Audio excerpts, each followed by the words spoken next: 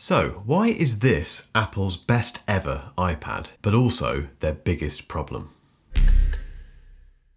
Hello and welcome back to Mark Ellis Reviews. Thank you for subscribing if you have, and if you haven't subscribed, the button is just below. And don't forget, you can now support this channel on Patreon. There's a link in the description. You get some extra content each week, each month, and also, more importantly, you get access to my brilliant Discord server, which is full of very lovely people. Now, I bought the original iPad back in 2010. I was one of the very first early adopters. People did point and laugh at me for doing so because back then it was just a big iPhone, there's no getting away from it. But I saw the potential in that device, and since then, I've owned, I think, pretty much every iPad since that original first version. Perhaps one or two I might have skipped, but I've been an iPad user since then, so for nearly 12 years it's been quite an important device in my life. However, I still think it's one of those lust factor devices. No one really needs an iPad unless it's your main device, and for some people it is, which is fantastic. I'm quite jealous of those people. But for most people like me who, who have other things, so I have my iPhone, I have my Macs, I don't need an iPad. I can get away without having this. If this wasn't in my life, it wouldn't really make any difference to me getting things done. I just want one. And that's absolutely fine. You might be the same. And it's particularly fine if you go for the fourth generation iPad Air. Now, I've been using this since December, I think last year, and in that time, I've just discovered that this is the best iPad Apple has ever made. But it does create an issue for both Apple itself and also its customers, which I'll get onto later. But in the meantime, this is my long-term review of the fourth generation iPad Air. We'll start with price because I think that's a very important consideration for any of these types of purchases. And the fourth generation iPad Air the cheapest version of it is £579 or $579. And for that, you get 64 gig of storage. Now for some people that isn't enough. For me it's absolutely fine. So since December I've used 22 gig of that 64 gig. And the reason for that is pretty simple. I just don't store stuff on the iPad. Everything I have, all my documents, all my photos, everything I work on is on the cloud. All the apps I use are obviously pretty small, they don't take up much space. They too rely on cloud-based data and documents and things, so I just don't have any reason to store anything on the iPad. Now, if you sit in that same boat, which I think a lot of people do, if you don't, if you store stuff on your iPad, what, what is it? What sort of things, not literally what is it, but I'm, I'm interested in this. I, like to know what people do with their devices. So if you find yourself maxing out 64 gigs of storage on an iPad, what is it you're putting on there? Is it, is it music? Is it photos? Yeah, I'm, I'm just interested. Let me, let me know in the comments. But if you're in the same boat as me and you don't store stuff locally on an iPad, And at 579 for 64 gig, which you won't you won't use up, trust me, I think that makes this iPad a bit of a bargain. Now, if we compare the iPad Air 4 against the 11-inch iPad Pro, the iPad Pro is 749. And yes, the base level of that device has 128 gig, which is nice. But as I just mentioned, if you don't store stuff locally on your iPad, you don't need to spend that extra 200 pounds. The 11-inch iPad Pro, in my opinion,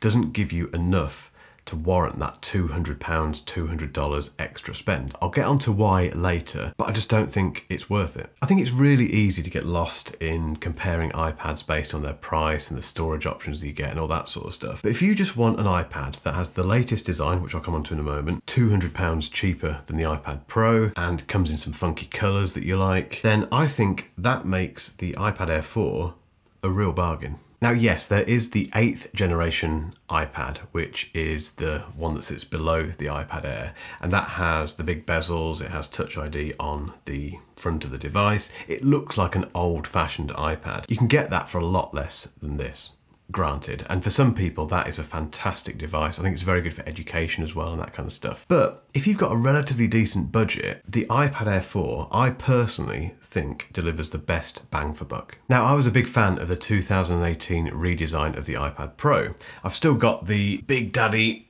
12.9 inch iPad Pro from that year here. I use it every day. I only use it really these days for photo editing, which is a bit elaborate, but I just love this big screen, the pencil and Lightroom. It's just a, a, great tool for editing photos. The reason I'm mentioning it is because the whole design aesthetic of this iPad Pro is very important for the way the iPad Air has developed. So when this came out, it had this brand new bezel free. It's not bezel free. There are still bezels there. They're, they're, they're just there. They're just smaller, basically. It was this kind of new design, kind of squared off edges. I think the best looking iPad Apple has ever made. What Apple has done, which I think is quite brave of them, if we can use that word, is they've carried that design aesthetic across to the iPad Air 4. So it too has the squared off edges. It has slightly bigger bezels than the 11 inch version of the Pro, but not very big. But if you compare this against the 8th generation iPad, it's night and day. It looks like such a more modern device really. I think the same could be said about their decision to put Touch ID on the power button at the top. I'm a big Face ID user, so obviously I, I love Face ID on the iPhone. I love it on the big 12.9 inch iPad Pro as well. So I was a little bit worried about trying to get used to, to this kind of method of using Touch ID up here on the iPad Air, but you very quickly get used to it and it becomes second nature after a while. So again, quite a bold move to go for that over Face ID. But more importantly, if you're coming from an old iPad Air or perhaps an eighth generation iPad or just a, an older iPad altogether and you want to buy yourself a new one, the fact that Apple has given it this new look will make the upgrade massive and it's something that you'll genuinely benefit from and enjoy every day, I think. It looks so different to old iPads. It's just such a lovely, lovely iPad. There's just one problem. I think Apple has really made a rod for its own back with this iPad Air. And the reason for that is very simple. This is just too good in a way. So I've not even spoken about the chip that sits inside this because it's barely worth talking about iPad chips because they're just they're just so good. But this has the A14 Bionic which is ridiculously quick. It's faster than any other tablet on the market. Compare this against the M1 in the iPad Pro. Normal everyday use, you're not going to notice any difference. And just to illustrate that, my 2018 iPad Pro feels as fast as the day I bought it and it's now 2021. So, so if someone comes to me and says, look, Mark, I want to buy a new iPad. I've got a relatively decent budget. I don't want that great big 12.9 inch one. What should I buy? I'm never going to recommend the 11 inch iPad Pro. There's no reason to. Now there are some differences above and beyond the additional storage that you get on the base level. So the 11 inch iPad Pro has Face ID. It also has ProMotion, which is basically the refresh rate on the screen. It has a really tiny, tiny, slightly bigger screen, slightly better camera. And yes, it has the M1 chip in it, but as I just mentioned a moment ago, that doesn't make any difference. And actually none of those things make a difference. Whenever I use this, I don't, remember I've got an iPad Pro which has all that stuff apart from the M1. When I switch between that device and this one, I don't miss the things that are on the iPad Pro. The only reason I would recommend the 11 inch iPad Pro is if someone came to me and said, look, I want a, new iPad, I've got a good budget, and I do store a lot of files on my iPad, so I might, you know, it might be a lot of photos or video, whatever it might be. I probably would have to say get the 11 inch iPad Pro, partly because the base level is not cheaper, but you get more more storage for your money than you do with the iPad Air, but also because the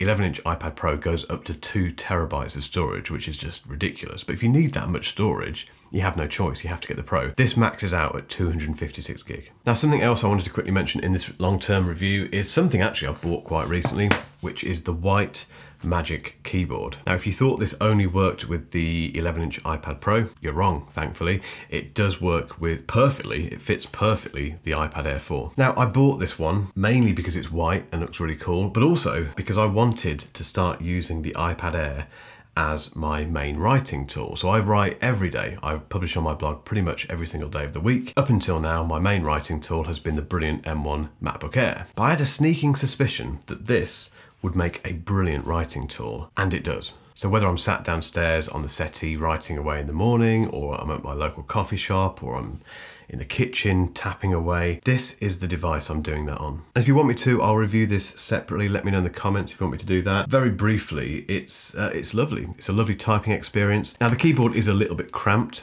I'll give you that, and so is the trackpad. But it is a small keyboard, it's a small device. You have to expect a few compromises. And you're still getting full-size keys, you're still getting nice key travel, and it's just an enjoyable keyboard to type on. But what I love about this, this reminds me of netbooks. Now, I was, if you can't remember them, netbooks were this kind of trend in laptop design that came around probably kind of the mid 2000s, I think, yeah, maybe a bit earlier. They were basically tiny, small laptops. And I loved that idea. I loved the idea that you could have this little thing with a small screen that you could use for writing and email. And you know, if you're out on the road, it's this little thing you chuck into your backpack and away you go. It was great in principle. The problem was that netbooks were just dreadful. Terrible, terrible computers. This reminds me of netbooks and it kind of takes me back to that netbook era, but it's like an alternative reality where netbooks weren't crap. And what it is about this, it's the combination of the iPad Air's size, the speed of it, it's just such a quick little device, the touchscreen, obviously, the trackpad and keyboard support that you get, the ease with which you can attach this and take it off. Everything about this makes it such a good writing tool, but also just a brilliant companion when you're walking around and you know you're out and about. You don't have to sling a great big laptop in your backpack. So as I say, if you want me to, I'll do a separate review of the Magic Keyboard case, but I wanted to mention it in this